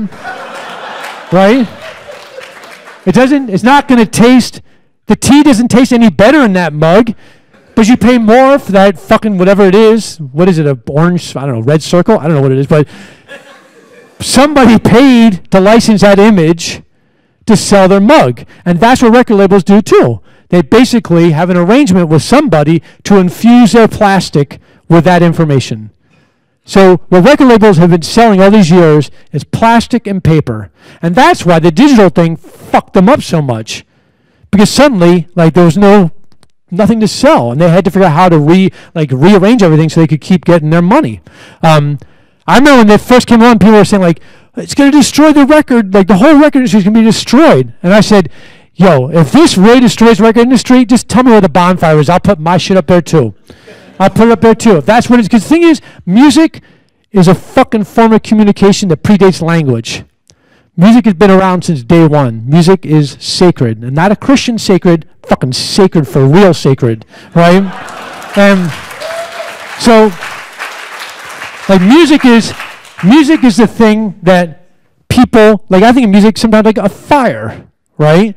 Like people gather around it, and they they they connect around it, or maybe they burn some shit down with it, you know, or they cook with it, and they, they, they find sustenance. Music is a currency that people trade to know each other. Like I'm, I'm sitting here watching all these panels today and listening to people um, who are like younger than me, and people who are older than me, and people who are fucking way smarter than me, like these motherfucking professor people, and just Jesus Christ, and just thinking about like how music danced with everybody in this room. I would think, you know, like that, that dance and how significant it is, whether it's punk or funk or whatever, hip hop or, or rock and roll or whatever it is, like it doesn't matter. Like it, that dance is so significant. And so I always think like music is, that is, it's just no joke. It's no joke. And I'm thankful. I am thankful for record companies. I'm glad that, for instance, like right now, I'm thirsty. So I can walk backwards, unlike Henry Rollins, and I can get this right? I can pick up this bottle of water, which is, I appreciate the fact that they, at this moment, although I would prefer a plain glass, I think maybe I, at some point I mentioned I just want a glass of water, because I always try not to use the plastic. Um, but just to have a sip of water, this is a nice conveyance. But if you think about it, like, I mean, is this gorge water? Can you drink that shit? Is that, was that drinkable, the gorge? Well, in theory, it should have been at some point. Um, ah, um, I appreciate this conveyance. There are times where it's very nice to have water in a container. The same way, you know, if I'm driving perhaps and I want to listen to music, I'm like, how amazing is it? Like, I was driving down from Syracuse in a gold Ford Fiesta, which I rented from Thrifty, and I was listening to, seriously, listening to probably my 35th hour of the raw Let It Be sessions, Beatles just recording, listening to them working out how to write the long and long and winding road. And I'm just driving, I'm in just driving down uh, 81 and just in a state of like total bliss, listening to like Paul teach John how to play this simple song. And I'm thinking like, this is incredible. It's like a miracle that I'm actually being able to hear this. So I appreciate record labels, and that's why I fucking made one too because the music for me was super important. I remember people say, "Why do you Why are you starting a label?" And I said, "Because it's it's, it's important. Like we were in a teenage punk band at Wilson High School. We played for a year. You know, we found all this energy. We found a connection. We saw like this history. We were ex- we were in, exposed to like, this whole other way of thinking about things. Um, and then we decided to stop playing, and we had you know, seven or eight hundred dollars saved up. This is the thing about us. We saved every dollar we ever made, we put into a band fund. So we took all that money and we had a demo tape and we said, "L- instead of splitting the money up, let's make a yearbook. Let's make something that we can have, and us and our friends. And people say, but why? I said, because it was important to us. That's all. Like I was in earlier, somebody on the other panel said, like, why the paper and the material? Because it was fucking art. That's why. There's evidence of human beings being thinking and human beings trying to put on paper or onto music and whatever these these visions or these ideas, these things they're trying to they're trying to communicate something through whatever mediums they have. And that's why we have the ephemera. That's why I saved that shit because it was important to me. And I think it was important to other people too around me and maybe to other people outside of, you know, as well. So for me, like the idea of creating this label was to document something that was important to me. And my, first of all, being in Washington, D.C., there is no record industry there. I don't know any at all. And we had to make it up. I have, like, my families are not record people. Nobody knew how to do this. We literally made records by hand, literally made them by hand. Not the vinyl. We sent that tape and, you know, checked for however much off to Nashville Record Productions and paid them for the vinyl. But then we said, well, we got to make sleeves. We're making eight. It's an eight-song, seven-inch. This is very funny because the, the people in Nashville, the mastering guy called and said, like, this, this can't be right. yeah, the songs are like 37 seconds long, and there's eight songs. I think he really, he really appreciated it. You know, he was, he, he said, "I like you kids," and um, so then, you know, we had been at that point, we've been going to the record store and buying like we to go to this store called Yesterday and Today Records in up in Rockville, Maryland, and we would just go buy like seven inch and and like sure, there's you know the Sex Pistols, the Clash, the Damned, Generation X, all super important bands to us. But then we started digging down into the the seven inches. You start finding bands like you know the Adverts were super important, and um, you know there was. Uh, uh, the Bears or the um, the Need or the uh, the Skunks, you know, the good from the, the song Good from the Bad, greatest song. All these very obscure. We kept finding these more and more obscure bands. It was a total education for me, by the way. I remember once walking up to this guy Skip Groff in the store, and I said, like, I would say, well, "What's this sound like?" And he'd say, ah, "It's kind of Velvet, Velvet Undergroundish." And I was like, "Okay." And I'm walking back, going like, "What the fuck does that mean?" Like, and I think like must have a lot of very soft bass in it, like Velvet Underground. I knew nothing. I just didn't know. It was like an education. So we knew we bought these singles, and they had all these little picture sleeves, which were only in Europe, by the way. Like I never seen a picture sleeve in America prior to that. So we had our records off to Nashville, and they were pressing up these records, and we had to make sleeves. So we took an English picture sleeve, and we carefully pulled it apart because just glued up and we unfolded it. And we took an 11 by 17 piece of paper and we put that down and we sketched a line around the shape of the fold. And then jeff laid out the art inside the, the sketch. And then we took it to a print shop and said can you make a thousand of these on 11 by 17 piece of paper? And they said sure. They did it. It was a place called Kuf, Keuffel and Esser or something like that. And we got this paperback, and then we sat down in the living room Dischord House, had the television on, like soda just coursing through our brains, and using scissors, hand cut every one of those things around the shape. This is so stupid we did this. And then glue and folding and gluing it together. And after like the first 300 realizing that rubber cement was not the right kind of glue, and having to go back and do those. We did that for the first 10,000 records we made by hand.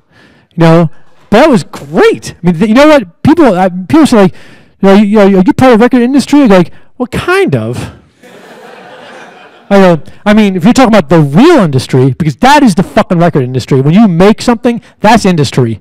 If you have somebody else making it for you, that's a little less industry. Um, so that whole process was was important to us and making something and sharing it. So when the digital thing comes along, sir, I'm sorry for going off on this tangent.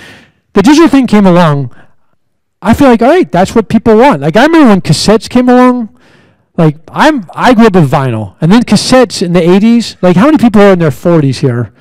Like, did you guys have cassettes? Do you buy cassettes? Like, yeah, like fuck cassettes. Like they were the worst format, you know. Like, I mean, I loved them for home taping, but at some point, like in Fugazi era, like everybody was cassettes. And for for example, Repeater, the record Repeater, it came out in 1990.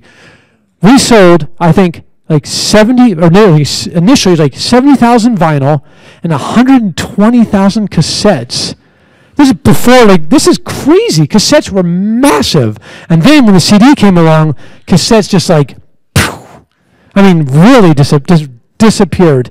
But it didn't matter for me. If people like you guys or you, the, those of you who had cassette decks, you wanted cassettes, sure, I'll make a cassette. And then people want CDs, all right. I mean, I listen to vinyl only because that's that's where I cut my teeth.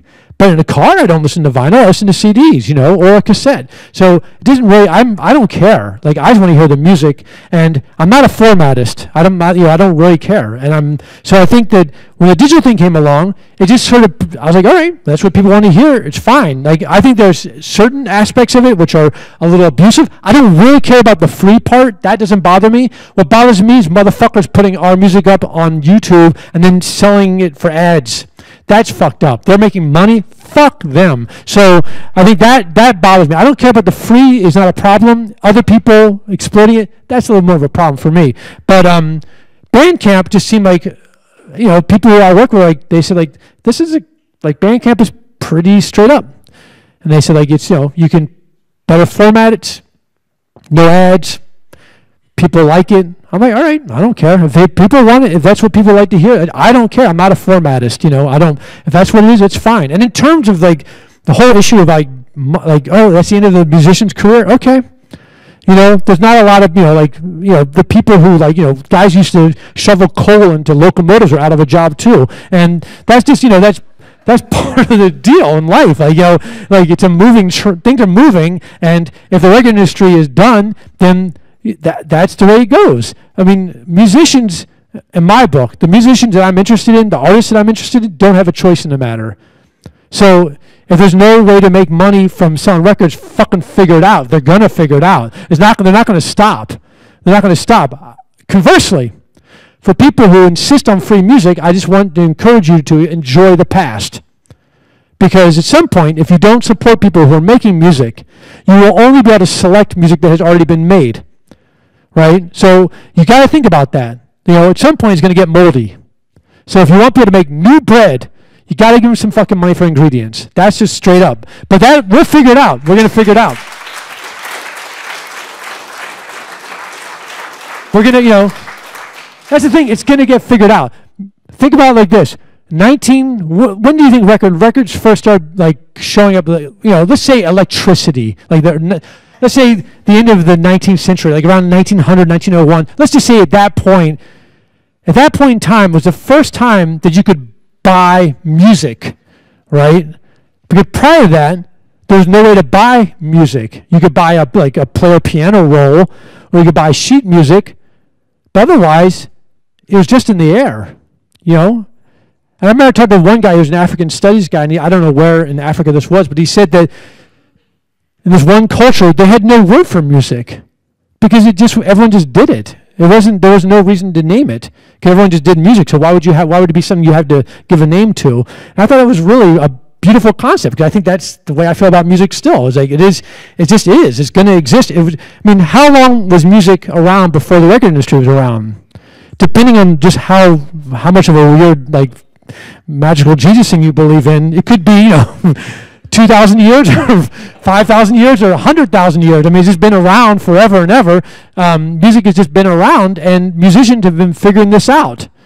You know, they've figured it out. So I think that we're in a weird time of like we're things are changing and evolving, which is interesting. It's interesting to experience it. Um, and I'm curious to see. I know, like when I see like you know, like when I see people like Downtown Boys or other new bands playing, I'm like, yeah, they're not. They're the, they're fucking navigating. And that's punk. Like punk is navigation. Like figure out like here's the circumstances, here's the context, here's the situation. Like you get this these guys like you can't play music. You're like, all right, check this out. Like navigate. create a response, right? That's what we're doing right now. That's that. I mean, oh, by the way, Ryan, just before I'm going to talk for. Can I talk to seven o'clock? No.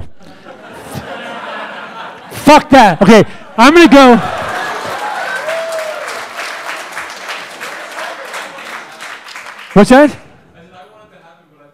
Have.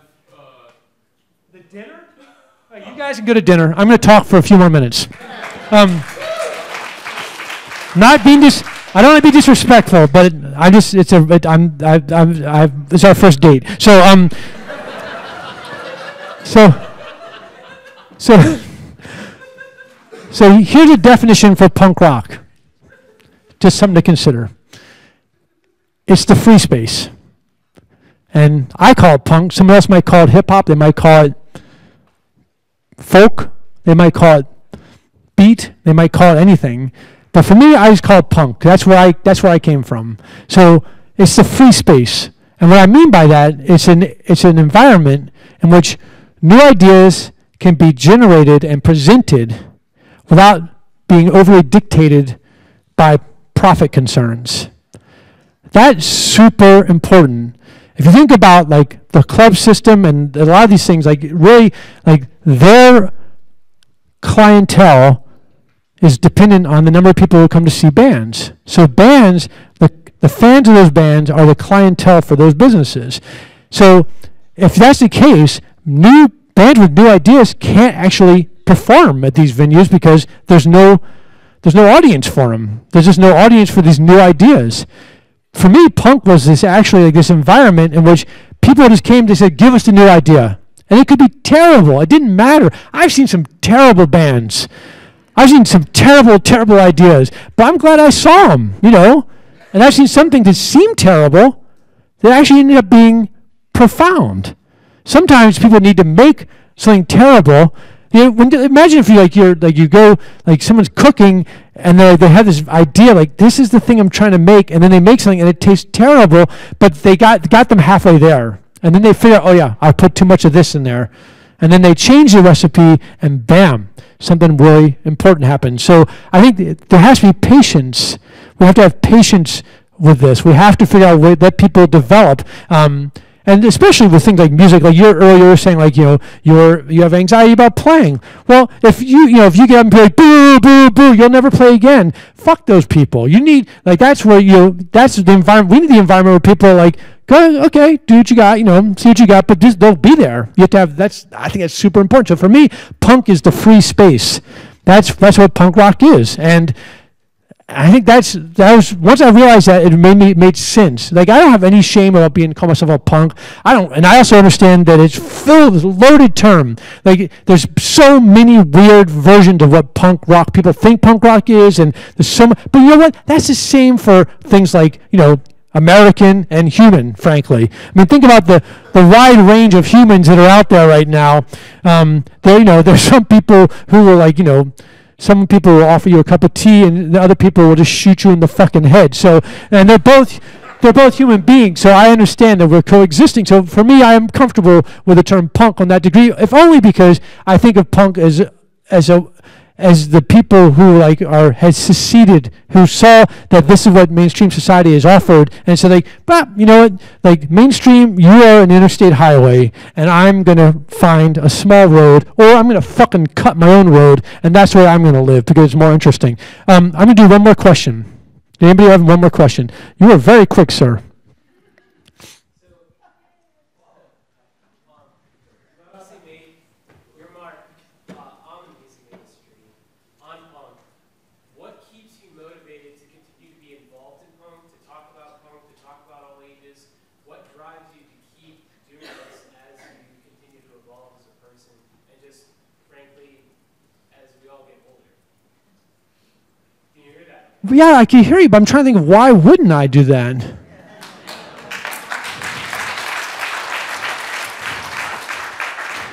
I think I said earlier that it all I stand behind all my lyrics.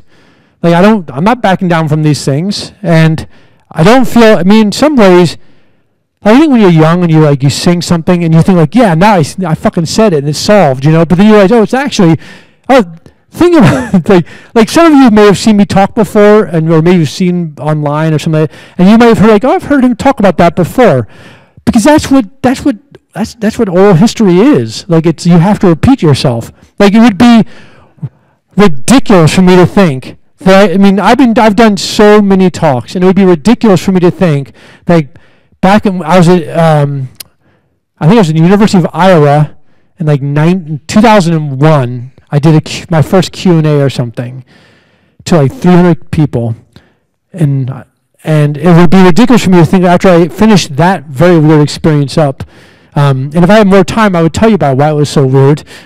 I'm going to tell you one quick thing about why it was so weird. because this is the one thing about me in my life, which is my time belongs to me. And that's another aspect of for me, like in the living counter to the society, like this is my fucking time. I'm just gonna, so I'm just gonna tell this quick story because it's funny. I was late to the venue because there was an ice storm out and a very um, nervous um, college student picked me up in a car that was not running very well. That had like slicks on it, and as we drove down the freeway in the ice storm, I thought we would die. And she was like, "No, you'll be okay." And we get we get to the venue and we I'm we're late. I have to eat something. There's some food downstairs. I eat, and then they say there's like 300 people upstairs. Let's go. And I say, okay, wh- what's the setup? And we go upstairs, and it's in the round, a small platform stage with a giant red chair on it. And I mean, giant red chair, not like a high, high back, but like where my feet barely touch the ground. And it's my first sort of, so I sit down and I'm like sort of sitting like this. I'm like, does anybody have a question? And then, and then like I talk for like four hours, and I thought I felt like a weird like Santa Claus Buddha guy or something. and my I talked to my mom afterwards. And I said like, what this happened? And she was like, never sit down when you're talking, because then you'll lose sense of time, which I did. Anyway, it would have been insane for me if that moment that night when I left my giant red chair to have thought that having said it to those people, I would not need to be here tonight. Thank you very much.